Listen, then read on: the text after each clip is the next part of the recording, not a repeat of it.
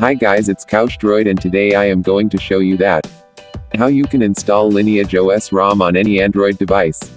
And also give you a preview of the ROM. So let's get started. So first go to the Lineage OS site and search for your device and download the ROM file. For me it's the Redmi Note 3 Pro Kenzo. For now they only have nightly and experimental builds available but the builds are pretty stable. And I prefer to go with the nightly builds. And for my device Redmi Note 3 Pro I never found any issues with the ROM. So after downloading the ROM, place the ROM file in your phone's internal storage or SD card if you downloaded the file in PC. Then boot into TWRP recovery. For most of the device you can boot into TWRP recovery by pressing the volume up plus power button together. But if this doesn't work for you then Google it for your device.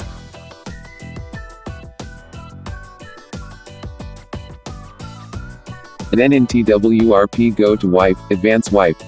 And select all the partitions except micro SD card and internal storage. And then swipe to wipe.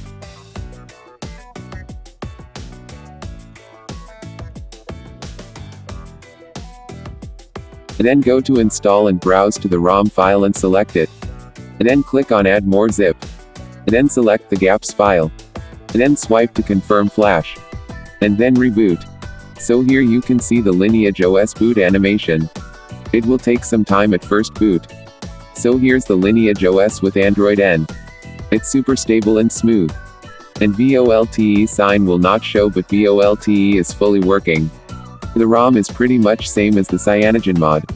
Actually it's exactly same except the boot animation and the easter egg of Lineage OS itself.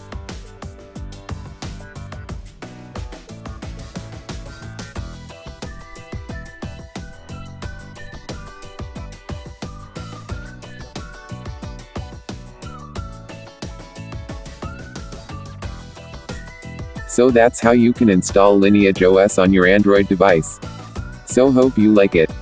If you do, then please hit that like button. And share this video to help others. Subscribe for more awesome tech videos.